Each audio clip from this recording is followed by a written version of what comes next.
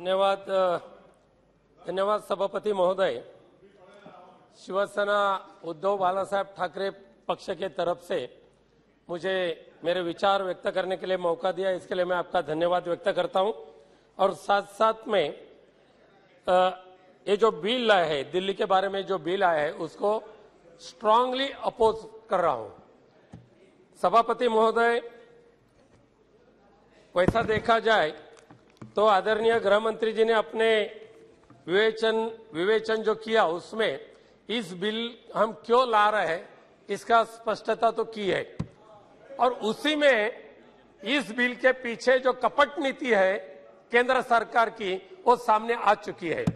गृह मंत्री जी ने कहा है कि 2015 के पहले सब कुछ सब अच्छा चल रहा था, लेकिन 2015 के बाद इस दिल्ली में जिस तरीके से मतदारों ने परिवर्तन निर्माण किया राज्य राजकीय क्षेत्र में, और इस परिवर्तन से वहाँ मतदार मतदारों मतदारों के इच्छा से जो लोगों ने सरकार स्थापित किया, ऐसे आम आदमी के पार्टी के तरफ़ से जो एक कपट नीति निर्माण हुई, उसके लिए आज का बिल का जन्म हो चुका है। अध्यक्ष सभापति महोदय वैसा देखा जाए तो दिल्ली ये लोकतंत्र की रक्षा करने वाला ये लोकशाही का मंदिर मंदिर में हम सब लोग बैठे लेकिन दुर्भाग्य के दुर्भाग्य से यही लोकशाही के मंदिर में दिल्ली के माध्यम से लोकतंत्र की हत्या शुरू हत्या की शुरुआत इस बिल के माध्यम से हो रही है ऐसा डर मुझे आ, लगता है। क्योंकि एक दिल्ली में विधानसभा है। लोगों के माध्यम से पार्षद विधायक चुने जाते हैं। लोगों से माध्यम से मुख्यमंत्री उप मुख्यमंत्री मंत्री परिषद का निर्माण हो चुका है। पिछले जो पार्षदों का चुनाव हुआ कारपोरेशन का इस चुनाव में सारे के सारे दिल्ली में उनका जो रवैया है दिल्ली वासियों का वो स्पष्ट हो चुका। काफ़ी पर, काफ़ी प्रयासों के बाद में भी वहाँ भारतीय जनता पार्टी का शासन न आने के जो एक दिल में उनकी जो ये थी, बुरी मन, भावना थी, वो उनके आज तक उनको सता रही थी और देख रहे थे, एक न एक दिन इसके बारे में हमें कुछ ना कुछ करना ही होगा।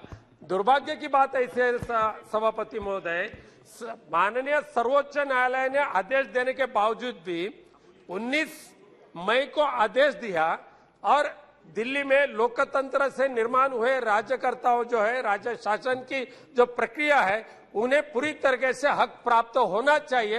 ये ऐसा निर्देश माननीय सर्वोच्च न्यायालय ने देने के बावजूद, वही दिन में ऐसा ऑर्डिनेंस निकालकर लोकतंत्र की हत्या करना और प्रशासकीय अमल का अमल अमल में लाना, ये निंदनीय भाव है। इसकी मैं तो निंदा करता हूँ, लेकिन पूरे देश के लिए क्या बाबा साहब आम्बेडकर जी के कृपा से या उस वक्त के हमारे पूर्वजों के कृपा से ये जो लोक, लोकतंत्र की जो देन हमें मिली है ऐसे लोकतंत्र का विसर्जन यमुना नदी में करने की शुरुआत इस राज्य के माध्यम से केंद्र सरकार के माध्यम से हो रहा क्या? और सभापति महोदय मैं पूछना चाहता हूँ कि अगर दिल्ली के आज के जो राज्यकर्ता है चाहे मुख्यमंत्री अरविंद जी केजरीवाल हो कई कन्यो जैसे गृह मंत्री जी ने बताया कि उन्होंने करोड़ों रुपया खर्चा करके जब बंगलो बनाया, ऐसा उनके बयान में आया है कि एक ही अगर एक कारण है तो आपके पास कई, पिछले कई दिनों से जेब में ईडी का एक राक्षस आप लेकर घूम रहे पूरे देश में, खास करके महाराष्ट्र हो या अन्य राज्यों में, बंगाल हो, आसाम हो। एक ईडी का जो है डायरेक्टर उसका तो इस्तेमाल आप करते आ रहे। महाराष्ट्र की आज की स्थिति ऐसी है कि चाहे शिवसेना के गद्दार गठ हो या एनसीपी के गद्दार गठ हो उनके सारे बहुत बहुत कई लोगों के ऊपर ईडी का रेड हुई थी। कई लोगों के ऊपर भ्रष्टाचार का आरोप था। कल भ्रष्टाचार का आरोप करते थे और आज उनको लेकर मंत्री परिषद में आप बैठते हैं। जी। हाँ ये तो वॉशिंग मशीन से भी ज़्यादा लॉन्ड्री हो चुकी है।